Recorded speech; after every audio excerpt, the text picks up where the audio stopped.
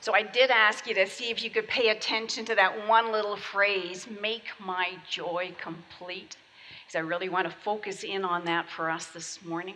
But when you think about life, so often, sometimes we ask that question, you know, what do you need in life? If you had a million dollars, what would you do? I had one person, we did that, they said, well, I need five million, you know, if that might begin to make it. But what, would, what do you need in life in order to feel complete and happy and well. You know, sometimes it's going away on the next vacation, or if only I had a new job, or if I had my health, or any number of things. You know, new home, new renovation, something new. But I had a sneaking feeling that many of us would actually concur with Paul did you happen to pick up what he said would make his joy complete? Could you follow that one? Dig out your Pew Bibles then. You'll find, and if you turn to page 152, I think it is, of the New Testament um, side of the Bible, way at the end, we're on page 152. And he says exactly what will make his joy complete. And it's, it's a beautiful piece that I think actually resonates with, certainly resonates with me and would resonate with most of us. What he longs for to make his joy complete is that they be of the same mind, same love, being a full accord. He longs for them to be united. Don't most of us long for unity in our families that we can gather around a dinner table and have everybody get along? Or that the place we work, the work relationships are good, or that in our neighborhood they're good, we're not fighting with the guy over the fence, or, or just our friendships. That a deep longing for all of us is that we be together and that we get along with each other. That we be of one heart, of one mind, that we be of full accord. This is Paul's longing from the depths of his heart when he's in prison, that they be of one mind. And this passage of scripture that uh, we read today, this um, 2 1 to 11, it includes the great hymn of Jesus in there. Um, of who he is, of emptying himself. But actually, if you always have to read scripture in context, right? So that that you can't just kind of pluck out that hymn and, and look at it. Because in all honesty, you can, you can pluck out that hymn and look at it, but you need to look at what goes before and what goes after and ask the question about why that hymn is in there. And this whole part of Scripture actually starts back a little bit earlier. It starts back in chapter 1 and verse 27, where he has his first call to unity. If only you'll live a life in a manner worthy of the gospel, so that you'll be standing firm in one spirit, striving side by side with one mind for the faith of the gospel. The unity piece starts there at the end of chapter one. Then he does his three unity cries here, and then it finishes over um, in verse, is it 14? Is it 15 there? It is by holding fast to the word of, of life and them. He calls them into this place of unity. Three times in the passage I gave you, and three times in this little, uh, these, this grouping that we have here. And he gives to us in the passage that we have this morning three things about unity. He tells us what unity, he gives us the call to unity. He tells us what unity looks like. He tells us what breaks the unity. And he tells us how to nurture the unity so that we can know it in our faith community lives and in our family lives and in our home lives. So, in these next few minutes, I just want to slip through this passage with you and just highlight that unity if you look up at verse um, verse 1 of chapter 2, he begins a description of some of the characteristics of a unified group, of a group that's working well, of a family that's loving each other well. He says there'll be encouragement in it positive words, affirming words, yes words, good job words. There'll be encouragement in it where you know each other, know who you are, know what you're doing, and stand beside each other and be thankful and gracious to one another. There'll be encouragement in it. The second characteristic is that there'll be consolation from love or comfort from love. There will be a sense of of warmth, of support again, of, um, of goodness between one another, that you'll be with each other in difficult times and in good times too. You can cry with one another and you can laugh and celebrate with one another. There will be consolation and comfort in love. Uh, the next one is that there'll be fellowship of the Spirit, or it's called support of the Spirit. There'll be a sense of the Spirit's presence that binds you together in a way that kind of amazes you. It will be a, mm, it will be a, a sense almost like your faith family that's here. Can almost at times be closer to you than your blood family if they're not walking in the Spirit with you. There'll be something that weaves the people together within a faith community as they, they look for a bigger goal, as they work together for a bigger goal, as they have their shared eyes on something above and beyond them. It's the weaving together of the faith community. And the last thing he says that are characteristics of a, a community that's unified is in this one it says compassion and sympathy. Other places say tenderness and compassion. That that's how we'll treat each other that we'll be tender hearted towards one another. Yeah, we make mistakes and we blow it and we need to be spoken to about stuff, but it's done with a tender heart, a gentleness, an, an awareness that we're all in this together, an awareness that we're not perfect, an awareness that we're deeply loved by God, and the love that we experience, we give out to one another. So we live together in tenderness and compassion with one another. Those are the characteristics that he gives to us of what a unified faith community looks like. Have you experienced that? Do you have that in your memory bank, in your experience bank? Times of being encouraged, times of being supported, times of being tender towards one another, times of feeling connected.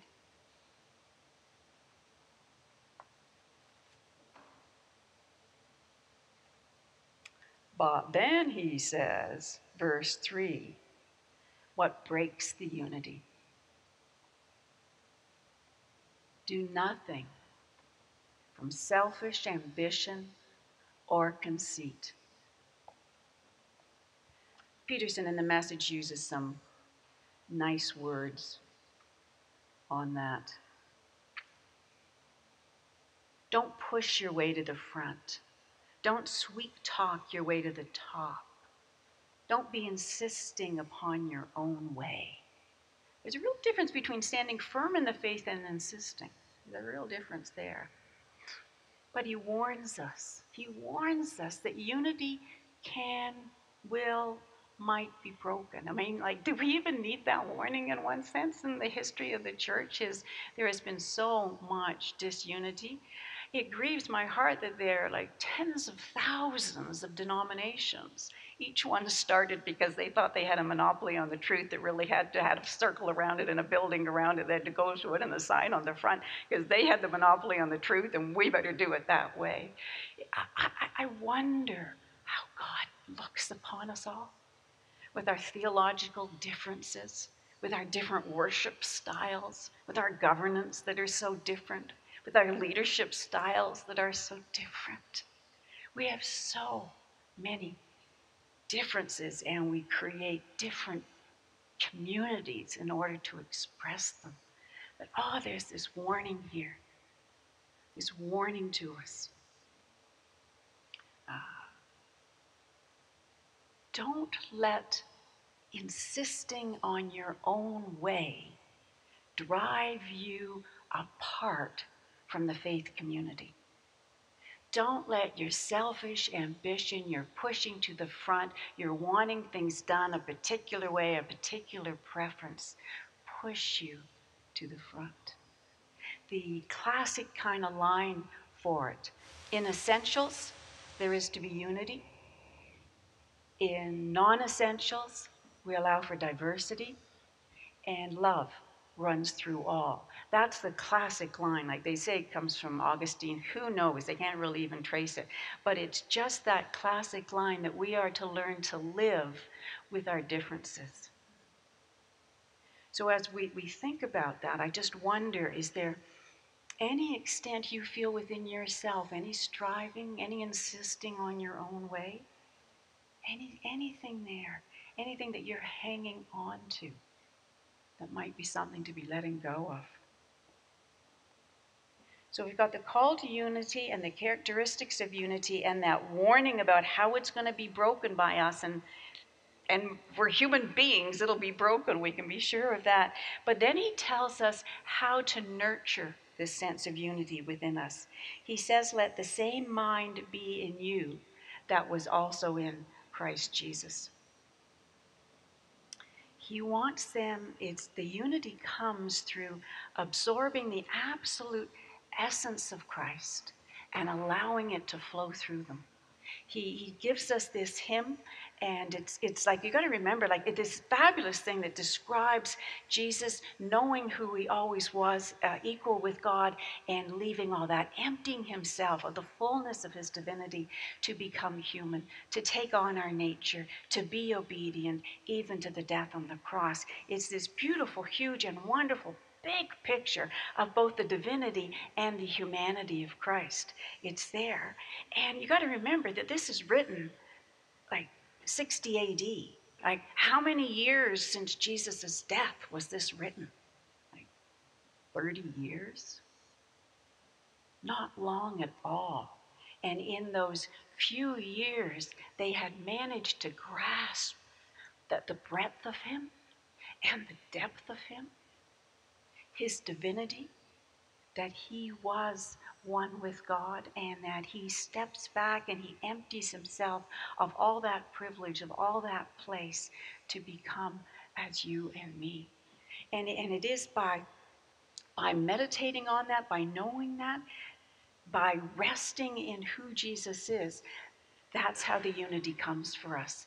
That we keep our eyes upon this huge, big Jesus that's what the invitation to us is, is to do. Let the same mind be in you that was in Christ Jesus. That as we recognize his presence within us and have our eyes on him, the same mind that because we talk about his spirit being in us, the same spirit in him is in us, and that as we, we can rest in that and let that flow through us. It is holding that big picture of Jesus and having Him as a fixed point in our lives. It's not about a uniformity of ideas, but it is a uniformity, it, is a, the unity doesn't come from a uniformity of ideas and having a correct theology. The unity comes from a shared experience of this huge and big Jesus. It comes from a shared experience of encountering the transforming work of Christ in our life. And as we have that shared experience of Jesus, we are encouraged and we are supported and we know tenderness and compassion in our lives and we know the Spirit working towards us for a common goal. When it's because Paul has that fixed point for him, that picture above and beyond his jail cell of Jesus. That he can say later on in verse in chapter 4 like we had last week, I'm content. I'm content here in prison because my eyes are not on my chains. My eyes are not on the walls that confine me. My eyes are on the one who has transformed me and is transforming me. And so I am content whether I'm in chains or whether I'm free. I am content whether I'm in riches or I'm in poverty. I am content whether I'm in sickness or I am in health. That's his contentment, his ability to accept where he is because his eyes are on the bigness of Jesus and he's experienced the transformation of this flow of the love of Christ within him. Are you content? with where you are? Can you accept your situation in life? To relax in it and to trust the slow work of God so that we'll know what to change and what not to change. There's a whole piece there with Paul with his contentment. So, make my joy complete, he says. Make my joy complete. Is there any way, this is a hard one to say to you, but is there any way that you contribute to disunity within your family or within your community, faith community or your work community, your life community? Is there any way that you contribute to disunity by insisting on your own way?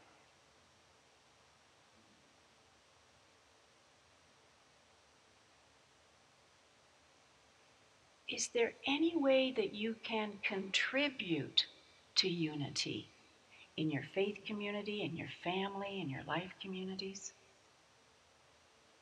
By taking part in encouragement, in comforting, in being tender hearted, in being compassionate to those around you.